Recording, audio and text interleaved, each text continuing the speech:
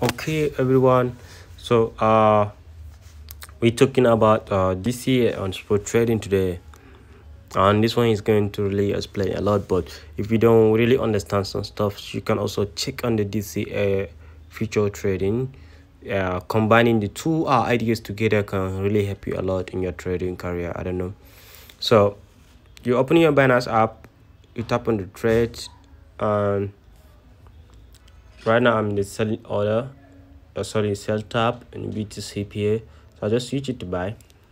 Uh, let's say i want to buy something like uh let's say celia c-e-l-r so i'll tap on it right now.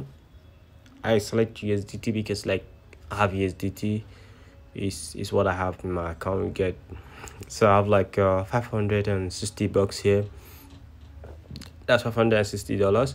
So let's say i want to buy a, a coin and i also want to invest only uh 25 percent of my account uh which is around 140 dollars. So let's say i want to buy Celium and i want to buy it and using dca so it depends on how they put the price for you. You can put a price for you and tell you to buy from so so amount dca you can use dollar cost average down to so so amount. So let's say we're going to be starting buying uh Celia from this particular market price down to 0 0.020 yeah so we we want to start buying from that. So the first the first thing i want to do as me i'll just put 20 dollars here as you know if you watch our spot trading video you should know about it. So i put 20 dollars here. This is the amount of silly i'm going to get. So since i'm going to get the almost 807 amount of cilia with my 20 bucks. So i'll just tap on the market price here around the rate. All these prices in the rate are the prices of people that want to sell. They want to sell it very higher. While this green are the price of people that want to buy it. They want to buy it very lower so i'll just select the one with rate since they want to sell there are people that already have it but they want to sell in a higher price I want to use DC. I don't really give a fuck about the price, so I will just uh, go straight and tap on this, and I just tap on buy. I'll buy it. Now that I bought twenty dollars worth of Celia, I want to start applying DC from here. So the first thing I'll do, Uh, there is two type of DC actually. Some people prefer to be buying it whenever they see the market drop by themselves. Some people like to put limit order. I do both depend on my situation and depend on my free time. But purpose of this video we're going to be using limit order. So I'll delete everything. I'll just leave the two. I'll start with 0 0.023 3 so I'll say okay I'm putting 20 bucks here. I'll tap on buy I'll get an open order here. Now I'll delete this one. I'll put 0 0.029 I'll put 25 bucks here and I'll heat it up. Have another open done. Then I'll delete this in down to 0 0.022 then I'll put another 25 bucks here and I'll hit here. So total here we have 70 bucks. We already invested 20 bucks there that's making around uh, roughly we have invested uh 90 bucks. So we still have like around uh one or 50 bucks more to go because we're investing 140 so i'll delete this right here to one nine. Up 20 bucks here. Then i'll delete this to one five i'll put another 20 bucks here. And lastly i want to put i'll put in zero here and i'll put 10 bucks here. Now why am i putting uh some larger larger amount of money at the top but i'm putting small small at the down? Is because we're not really certain that the market is going to drop down to the actual price. So i want all my orders to be filled as fast as possible and i don't want to gamble i want my orders to be filled. I don't care the situation but i want my order to be filled. At the same time i'm trying to buy in a very very cheaper uh, rate. So with all these price and all these uh orders been here around one two three four five six.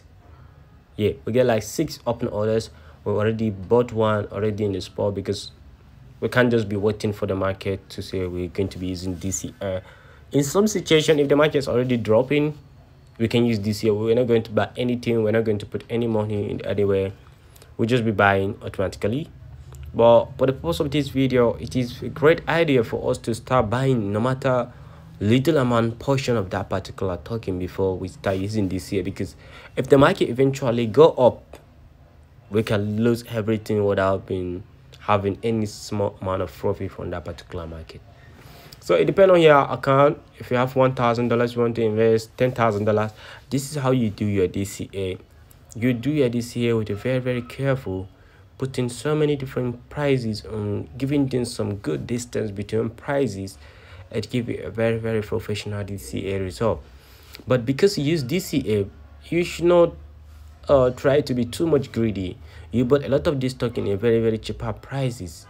So the best thing you can do as a trader is to adjust your take profit let's say you use dca to buy this thing and they say the take profit is around 0 0.03 yeah so let's say 0 0.03 right so if all these orders got filled your profit is going to be way way higher than anyone that buy immediately from that market price and just wait for this TP. You are going to get almost times two or times three of that person profit.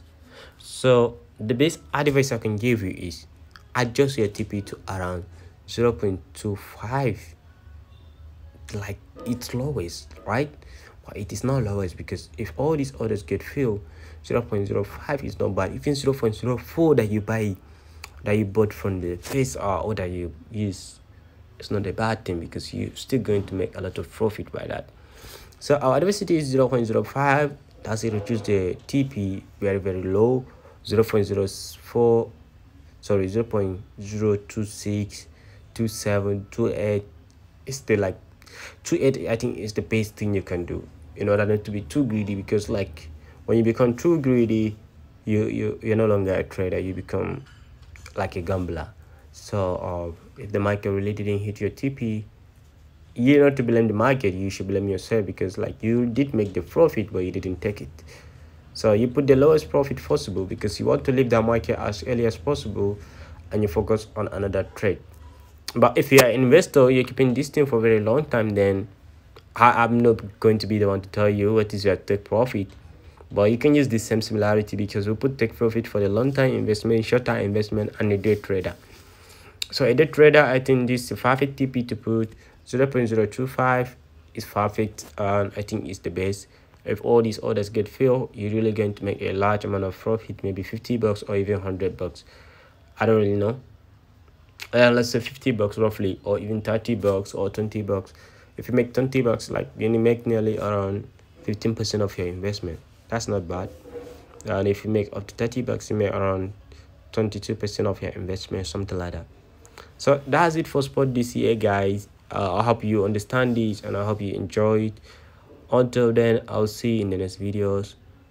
Or thank you for being uh, part of us and thank you for inviting your friends and family to join Whale Moves Traders. Really with you the base on you should expect a lot of more videos like this from us because we want everybody to make it. This market is large and it's enough for everybody. Until then see you next